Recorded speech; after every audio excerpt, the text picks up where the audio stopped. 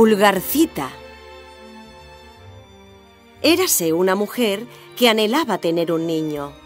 Un día decidió acudir a una vieja bruja y ésta le dijo: Ahí tienes un grano de cebada. Plántalo en una maceta y verás maravillas. Sembró el grano y brotó una flor grande y espléndida, parecida a un tulipán que tenía los pétalos cerrados. La mujer besó aquellos pétalos rojos y amarillos y se abrió la flor con un chasquido. Pero en el centro del cáliz se veía una niña pequeñísima, no más larga que un dedo pulgar. Por eso la llamaron Pulgarcita. Le dio por cuna una preciosa cáscara de nuez y de día jugaba navegando sobre una hoja de tulipán que flotaba a modo de barquilla. Una noche se presentó un sapo que saltó por un cristal roto de la ventana. ¡Op, op! Sería una bonita mujer para mi hijo. ¡Op, op! El sapo se llevó dormida a Pulgarcita en su cáscara de nuez y la depositó en un pétalo de nenúfar en medio del arroyo para que no escapara mientras él y su hijo le preparaban su habitación debajo del cenagal. Cuando se hizo de día despertó la pequeña y al ver dónde se encontraba, prorrumpió a llorar amargamente. Los pececillos que nadaban se reunieron todos en el agua, alrededor del verde tallo que sostenía la hoja. Lo cortaron con los dientes y la hoja salió flotando río abajo, llevándose a Pulgarcita fuera del alcance del sapo. Una bonita mariposa vino a pararse sobre la hoja. Pulgarcita se desató el cinturón, ató un extremo en torno a la mariposa y el otro a la hoja, y así la barquilla avanzaba mucho más rápida. Mas he aquí que pasó volando un gran abejorro y rodeó con sus garras su cuerpecito y fue a depositarlo en un árbol. Otro abejorro al verla dijo... Solo tiene dos piernas. No tiene antenas. Uf, qué fea. Deja que se vaya. La bajó al pie del árbol y la depositó sobre una margarita. Todo el verano se pasó la pobre pulgarcita completamente sola en el inmenso bosque. Para comer, recogía néctar de las flores y bebía del rocío que todas las mañanas se depositaba en las hojas. Pero luego vino el invierno, el frío y largo invierno los pájaros se marcharon y los árboles y las flores se secaron. Pulgarcita pasaba un frío horrible, pues tenía todos los vestidos rotos. Se envolvió en una hoja seca, pero no conseguía entrar en calor. Tiritaba de frío. Llegó frente a la puerta del ratón de campo Llamó a la puerta como una pordiosera y pidió un trocito de grano de cebada.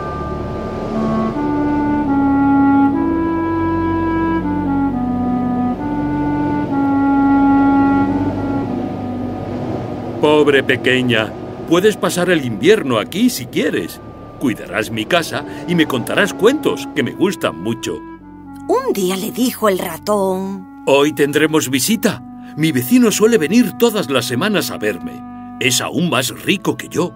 Tiene grandes salones y lleva una hermosa casaca de terciopelo negro.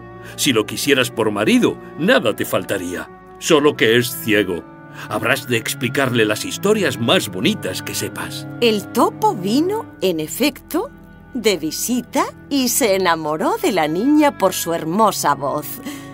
Fueron a ver su casa y en un corredor se encontraron una golondrina muerta. El topo, con su corta pata, dio un empujón y dijo... Esta ya no volverá a chillar.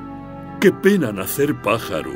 A Dios gracias, ninguno de mis hijos lo será. Vaya hambre la que pasan en invierno.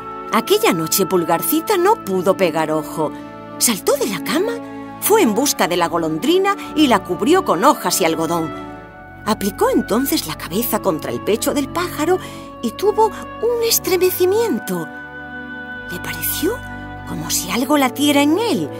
Y en efecto, era el corazón, pues la golondrina no estaba muerta. El calor la volvía a la vida. Regresó al día siguiente y ya tenía abiertos los ojos.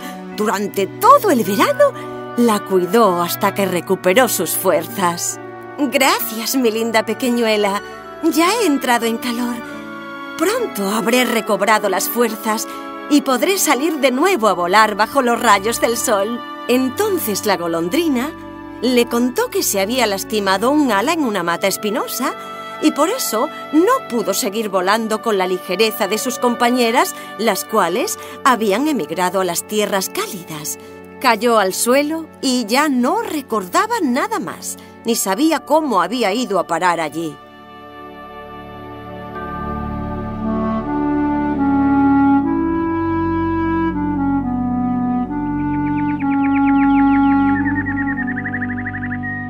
Cuando llegó la primavera, el sol comenzó a calentar la tierra y Pulgarcita hizo un agujero en el techo del túnel para que la golondrina pudiera salir. Sabía lo que le esperaba. La boda con el topo, a quien no quería. La soledad y la oscuridad de aquellas galerías. Entonces la golondrina, revoloteando en el aire, le dijo, ¡Vamos! Ponte sobre mi espalda y te llevaré volando conmigo. Y así fue como la golondrina llevó a Pulgarcita al lugar donde ellas hacen sus nidos, el mismo lugar donde las personas diminutas como ella viven en el interior de hermosas flores blancas.